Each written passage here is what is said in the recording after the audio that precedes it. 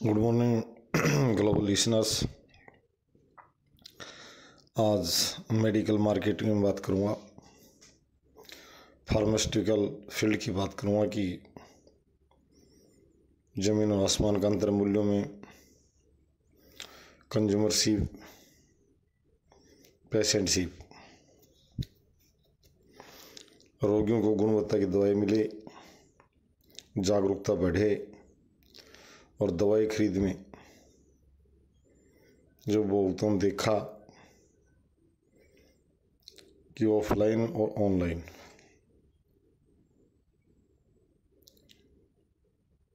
Made India जैसी online जो कंपनियाँ हैं, इसके प्रतिनिधि रोहित भाई ने बताया और डॉक्टर सौरभ पहल, जो भारतीय उपभोक्ताओं को मेडिकल बाज़ार की लूट से बचाना चाहते हैं निःशुल्क कार्य करना चाहते हैं। चैनल पर आकर, चैनल के साथ दूसरे डॉक्टर से उनका अच्छी सोच के लोग साथ आए। और इन मासूम लोगों को इन लूट प्रथा जो चल रही थी, कई सौ सालों से उस ब्रांडेड प्रोडक्ट ही मरीज़ के पास पहुँचे और उसमें 25 परसेंट कमीशन और एक तरफ़ 10 प्रतिशत कमीशन, यानी हज़ार की खरीद पर डेढ़ सौ रुपये की चप, जो चपत लग रही है, उपभोक्ता उसको ख़त्म किया जा रहा है। इसके लिए मैं दवा प्रतिनिधि से कहूँगा कि अपनी साख बनाएँ।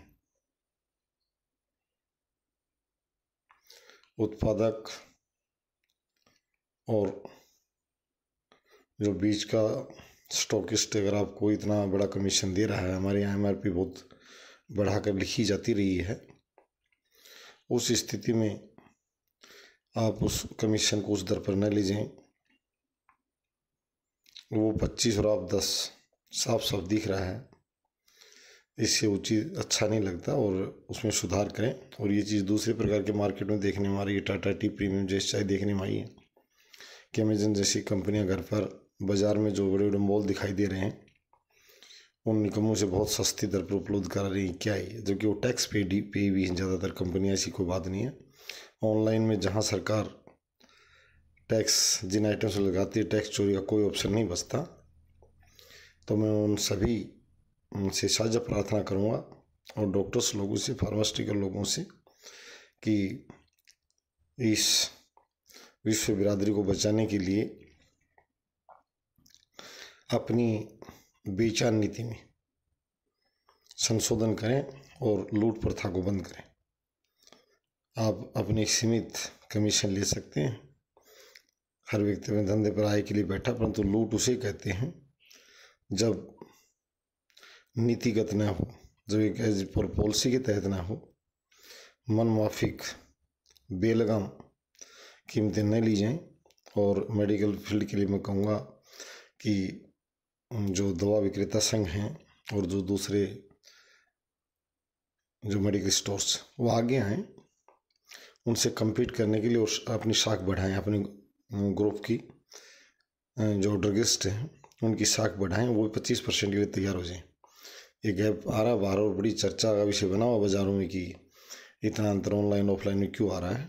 तो मैं ये कहूँगा डॉक्टर साथियों से भी ड्रग्स से और केमिस्ट वगैरह से कि आएँ और अच्छे ब्रांडेड प्रोडक्ट बेचें। निम्न गुणवत्ता के प्रोडक्ट वो नकारें ताकि कंपनी अच्छे उत्पाद जो प्रोडक्शन के लिए तैयार हों। लो और इन्फीरियर क्वालिटी को बाज़ार से जल्दी से जल्दी बाहर किया जाए। ये मानव जीवन से जुड़ा विषय है, मैं इसलिए कह रहा हूँ हल्के और घटिया स्तर के उत्पादों को प्रोत्साहित नहीं करें। धन्यवाद।